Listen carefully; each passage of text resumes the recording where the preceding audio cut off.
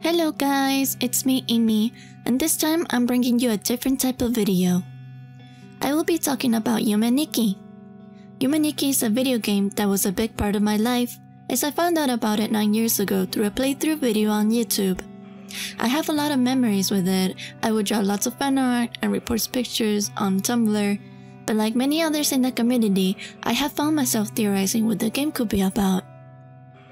However, the creator themselves has said that the video game is simply one with no plot, no story. Then, there is no reason to theorize, right? Well, I think the creator is allowing us to theorize anything from its everything, without us being trapped in one single answer.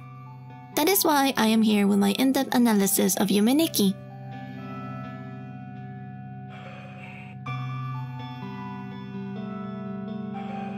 For those who haven't played it, I really encourage you to play it first before watching this video, as I will cover basically every detail and spoilers inside the game.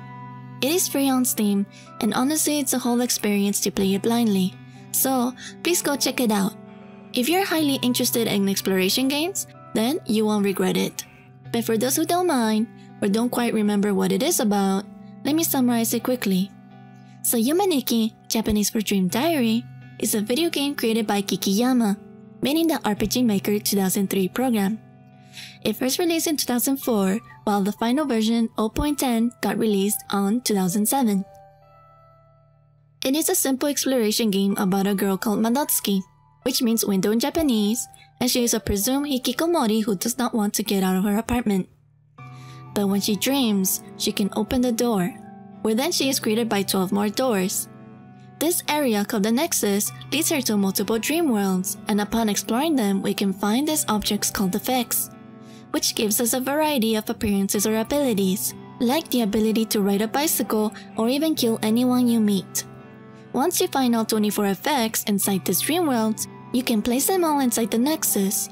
Then, you wake up and take the stairs that have now been placed for you outside, so Madotsuki can jump and fall down to her demise.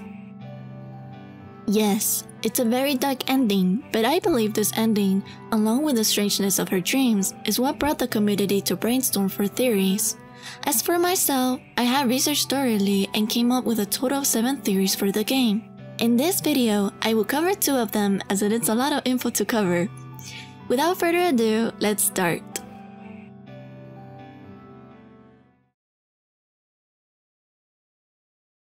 The most popular one and considered as overrated is the sexual assault theory. In this particular theory I came up with, the horrible assault was mainly oral. The number world is the biggest provider for this theory, as it has multiple events and objects that support this theme. I would like to mention first that unlike the rest of the doors of the Nexus, the number world door makes a different sound when you open and close it.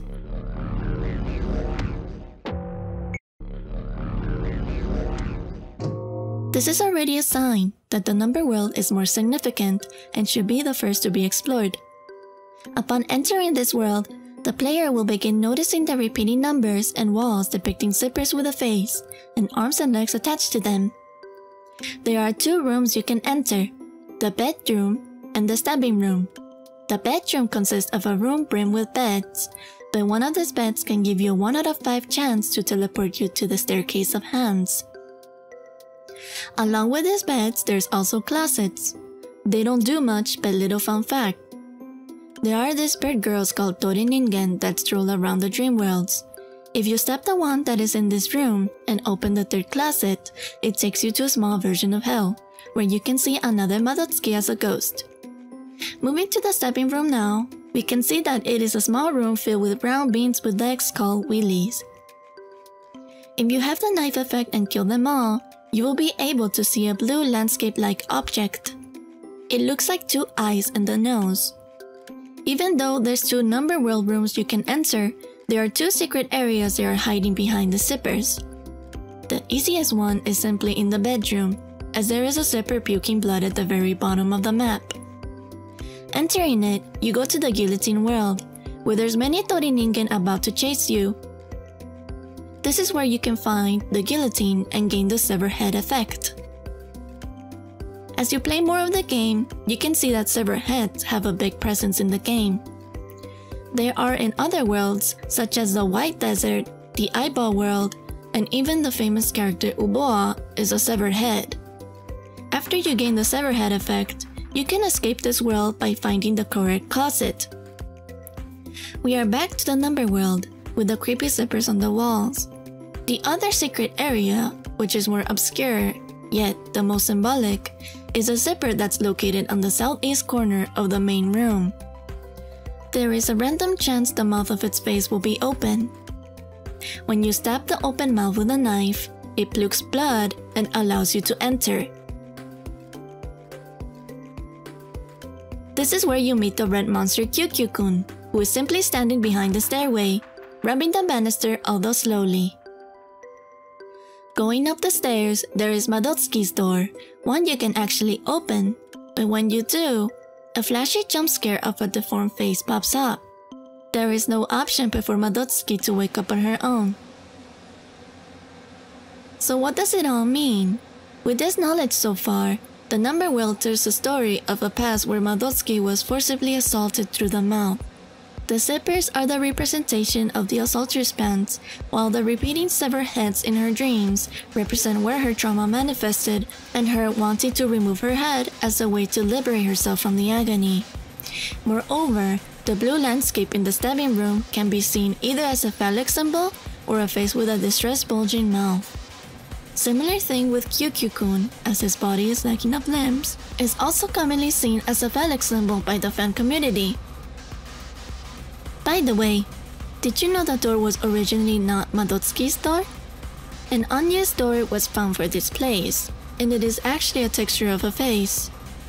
The same face you can see behind Kyukyu-kun in the background. A face. Could this be Madotsuki's interpretation of the assaulter? Additionally, arms and feet are present beyond the number world, like the eyeball world and in Uboa's event.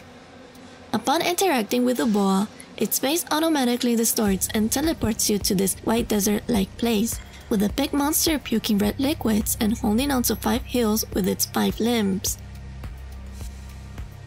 Some may see the monster as the assaulter because of its aggressive nature with the hills. However, I believe it's the opposite. Considering the distressed puking faces from the number world, the monster is Madotsuki herself, having to endure the pain of touching the assaulter various times. Other strong signs of molestation include the staircase of hands, where you can evidently see long arms with hands reaching upwards. Another popular sign is a monster called Henkei Shita, seen in Hill and in the footprint path. Again, no sign of a head, but an eye on the chest and a mouth on the stomach. Equaling the feeling of being watched and desired in disturbing ways. Walking through the footprint path as well leads you to meet these water monsters, and if you press the tip of their bodies, they puke out a bit of blood with their funny faces. I don't think I have to explain this part to let you know what it means, and I also think I said enough. So, let's move on to the next theory.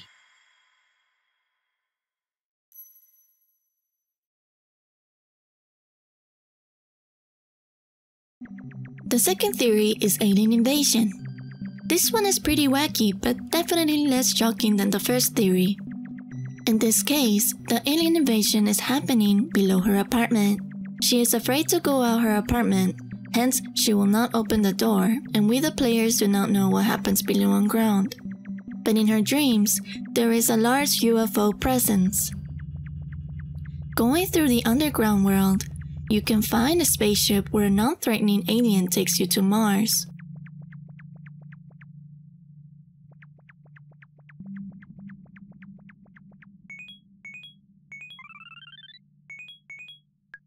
In Sky Garden, you can see the green colored humans staring at the sky, where UFOs seem to pass by here and then. People say that walking up the stairs to Sky Garden, there is a chance you will see falling people in the sky. But I believe they are UFOs once again because of the correlation with Sky Garden.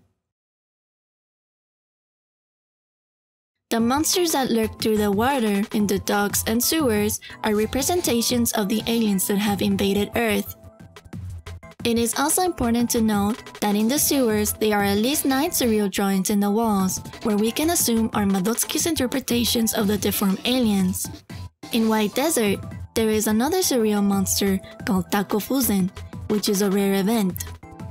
Clearly, there are various forms of aliens in her dreams.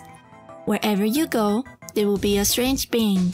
But did you know there is also a chronological story to it?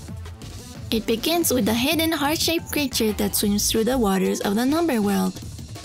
You can only see it if you use the cat effect several times though. This creature is neon and bright, but hides itself from the humans. However, the next door, the neon world, reveals most of the strange yet harmless beings in plain view. It is almost like they are introducing themselves to Madotsuki. They look friendly, charming, and flashy. They are dancing and enjoying their stay, and you even get to have the neon effect, a prominent theme in their alien culture.